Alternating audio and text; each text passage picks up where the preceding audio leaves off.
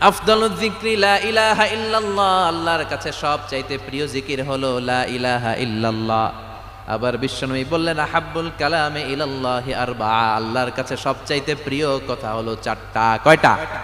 সুবহানাল্লাহ, আলহামদুলিল্লাহ, লা ইলাহা ইল্লাল্লাহ, সুবহানাল্লাহ।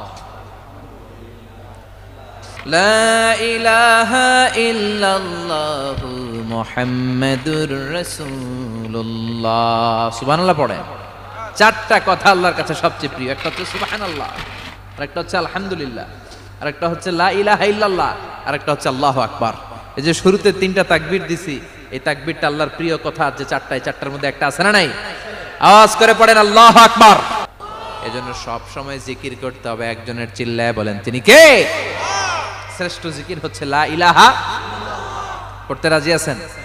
সব সময় জিকিরটা করতে রাজি আছেন? দিনে, রাতে যে কোনো মুহূর্তে। আমাদের জিব্বার মধ্যে থাকবে কি? কথা বলেন, জিব্বায় থাকবে কি?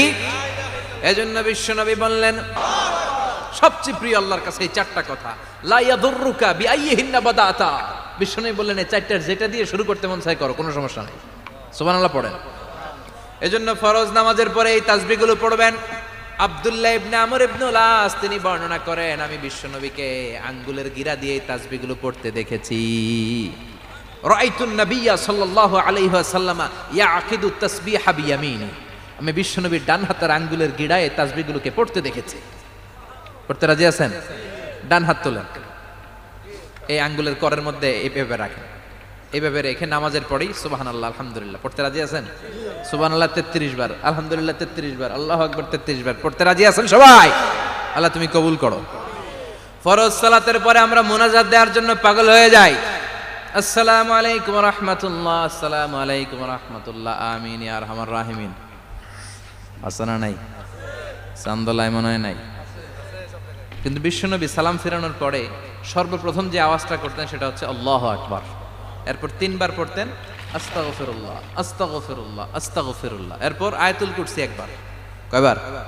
মান কারা আয়াতুল কুরসি দুবুরা কুল্লি সালাতিন মাকতুবা, লাম ইয়ামনাহু মিন দুখুলিল জান্নাতি ইল্লাল মাউত। প্রত্যেক ফরজ সালাতের পরে যে একবার আয়াতুল কুরসি পড়ে, তার জান্নাতে ঢোকার ক্ষেত্রে আর কোনো বাধা থাকে না। একটা জিনিস ছাড়া সেটা হচ্ছে মরণ। লোকটা মরে না, তাই জান্নাতে যায় না, মরলেই জান্নাতি। আল্লাহু আকবার!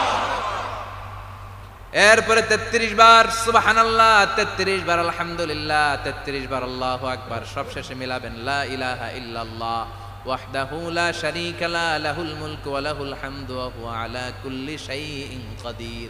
এরপরে পড়তেন, আল্লাহুম্মা আনতাস সালাম, ওয়া মিনকাস সালাম, তাবারাকতা ইয়া যাল জালালি ওয়াল ইকরাম।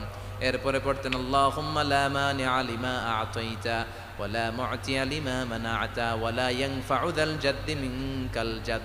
এরপরে পড়তেন, আল্লাহুম্মা ইন্না নাসআলুকাল হুদা ওয়াত তুকা ওয়াল আফাফা ওয়াল গিনা। এরপরে পড়তেন, আল্লাহুম্মা আইন্না আলা যিকরিকা ওয়া শুকরিকা ওয়া হুসনি ইবাদাতিক সুবহানাল্লাহ পড়েন। কত তাসবিহ কত দোয়া। আবার ফজরের সময় পড়তেন, আল্লাহুম্মা বিকা আসবাহনা। বিকা আমসাইনা নাহইয়া। ওয়া বিকা নামুতু ওয়া ইলাইকান নুশুর। সুবহানাল্লাহ পড়েন। এগুলো পড়ে না। আল্লাহুম্মা আমিন। ইয়ার রহমিন, কত বড় ডাকাত। ফরজ সালাতের পরে তাসবিগুলো পড়বেন। কথা বলেন, পড়তে রাজি আছেন সবাই? আর তাসবি শেষ হলে দোয়া করেন, সমস্যা নাই, দোয়া করতে হবে কার কাছে? বিশ্ব নেই বললেন না দোয়া মুখল এবাদা দোয়া হলো এবাদতের নির্যাস, যার দোয়া নাই ওর কিচ্ছু নাই। দোয়া করেন নাই তো নামাজে কাজ হবে না, দোয়া করেন নাই রোজায় কাজ হবে না, কথা কন। আর দোয়া মুখল এবাদা দোয়া হচ্ছে আবাদতের নির্যাস। আবার তিরমিজির বর্ণনায় বললেন, আর দোয়া হুয়াল এবাদা দোয়াটাই নাকি এবাদত দোয়াটা ইটসেলফ এইটাই আবাদত নামাজ যেমনি আবাদত রোজা যেমনি আবাদত হাত তুলে যে দোয়া করলেন, এইটাও আবাদত সুবহানাল্লাহ পড়েন। এটা মুমিনের উইপেন সেলাহুল মুমিন।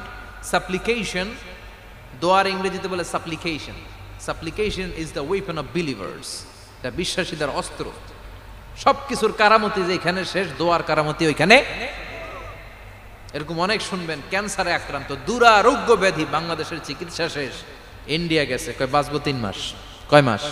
এরপরে সাত বছর বাইসা কেমনে বাঁচলো? কেমনে? দোয়া। দোয়ার পাওয়ার আছে না নাই? তবে দোয়াটা দোয়ার মতো হতে হবে। সিনসিয়ার দোয়া ইজ লাইক এ মিজাইল একনিষ্ঠ দোয়া, এটা মিজাইলের মতো। মিজাইল হামলা করলে ইঞ্চি ইঞ্চি যেখানে মিজাইল বোমাটা পড়ার কথা ঠিক ওখানে পড়বে। ড্রোন হামলা করলে, ঠিক ওখানে ব্যালিস্টিক ক্ষেপণাস্ত্র নিক্ষেপ করলে লক্ষ্য বস্তু যেমনি ভিত করে, তেমনি দোয়ার মতো দোয়া করলে মুহূর্তেই দোয়া কবুল হয়ে যায়। আমরা দোয়ার মতো দোয়া করতে জানি না, কেমন করে দোয়া করতে হয় আমাদের জানা নাই, এজন্য দোয়াও কবুল হয় না, চিল্লা এখন ঠিক কিনা? কিন্তু আল্লাহ ওয়াদা দিয়েছেন, উজিবু দাওয়াতাদ দাঈদা আমার বান্দা দোয়া করলে আমি দোয়া কবুল করি। আমার বান্দা চাওয়া মাত্রই আমি কবুল করে নেই, সুবহানাল্লাহ পড়েন। যত দোয়া আপনি করেছেন, সব কবুল। সব? অল অফ ইউর দোয়াজ আর অ্যাকসেপ্টেড সব কবুল হয়েছে। আল্লাহর কসম। অনেকে বলবে, হুজুর, এটা আবার কি কইলেন? এতক্ষণ তো ভালোই কইতেছিলেন। শব্দ আবার কবুল হয় কেমনে? আমি তো জীবনে কত কিছু চাইলাম, কত কিছুই তো পাই নাই। আছে না এরকম? অনেকে অনেক পেরেশান, আফসোস করে, হুজুর, চাইলাম, আল্লাহ দিল না। চারটা মাইয়া। এবার কাবা দইরা চাই আইছি পোলার কথা, এটাও হয়েছে মাইয়া। আছে না নাই? পাঁচটা ছেলে হয়েছে মেয়ের জন্য বুকটা হাহাকার। হজে যে আরাফাতের ময়দানে চেয়ে আসলাম, এইবারও হয়েছে আর একটা পোলা। আছে না নাই? কত কিছু চাইলাম, পাইলাম না হুজুর। দিল না আল্লাহ। বলে না? আপনার সব দোয়া কবুল। তবে কবুল হওয়ার তিনটা সিস্টেম আছে। কয়টা? চান্দুল্লাহ ভাইয়েরা, মনে থাকবে? কয়টা? আপনি যত দোয়া করছেন সব কবুল, কারণ আল্লাহর কাছে কিছু চাইলে আল্লাহ ফিরায় দিতে জানে না। আল্লাহ জানেই না কেমনে ফিরায় দিতে হয়। সোমান আল্লাহ কোন? চাওয়া মাত্রই আল্লাহ বলে অ্যাকসেপ্টেড যা, কবুল। দিব। দিব না! এটা বলতে জানে না। চাওয়া মাত্রই বলে দিব। তিন সিস্টেম নাম্বার ওয়ান আপনি আল্লাহর কাছে দোয়া করলেন, চাইলেন। আল্লাহ বলে দিব। বলেই তিনি দিয়ে দেন আর আপনি খুশি হয়ে যান। পেয়ে গেলেন। নাম্বার টু আপনি আল্লাহর কাছে দোয়া করলেন, চাইলেন। তখনও আল্লাহ বলে দিব, তবে এখন না। সবুর, একটু পরে দিব। কখন দিলে আমার জন্য ভালো? আমার চেয়েও ভালো জানে কে? পরে দিবে। নাম্বার থ্রি চাইলেন দোয়া করলেন, আল্লাহ তখনও বলে দেব, তবে এখনও না, পরেও না। কেমতের দিন যেদিন বিপদে পড়বে, ওই দিন দেব। যেদিন তোর বাবা তোরে চিনবে না, তোর মা তোরে চিনবে না, বন্ধু বন্ধুরে চিনবে না, পীর সাহেব মুরিদরে চিনবে না, মুরিদ পীর সাহেবরে চিনবে না, ইমাম সাহেব মুসল্লিরে চিনবে না, মুসল্লি ইমাম সাহেবরে চিনবে না, কেউ কাউরে চিনবে না, ওই কঠিন দিনে তোরে আমি বাঁচাইয়া দেব। তাইলে দোয়া যা করছেন ছোটবেলা থেকে আজকে পর্যন্ত লস হয়েছে না লাভ? লস না লাভ? এজন্য বেশি বেশি দোয়া করার দরকার আছে না নাই? জীবনে যদি কোনো ন্যাক আমল থাকে, ওই ন্যাক আমল দিয়ে যদি আল্লাহর কাছে দোয়া করেন, দোয়া কবুল করে নিবে কে? তবে ন্যাক আমলটা হইতে হবে শুধুমাত্র আল্লাহর সন্তুষ্টির জন্য। প্রত্যেকের জীবনেই কিছু আমল আছে যেটা লোক দেখানো করে, আছে না নাই? আবার কিছু আমল আছে আল্লাহরে খুশি করার জন্য করে, আছে না নাই? কথা বুঝতে পেরেছেন? রাত্রিবেলা যাচ্ছেন। কেউ নাই। রাস্তায় হঠাৎ দেখলেন মসজিদ, পাশে লেখা বড় করে দান বাক্স। পকেট থেকে কচকচে এক হাজার টাকার নোটটা ওইখানে ঢেলে দিলেন দান বাক্সের ভিতরে। কেউ দেখে নাই। দেখছে কে? এটা পৃথিবীর কাউরে দেখানোর জন্য দিছিলেন? এই দানটা আল্লাহর কাছে প্রিয়। গোপন দান আল্লাহর রাগকে কমিয়ে দেয়। সোমান বলেন।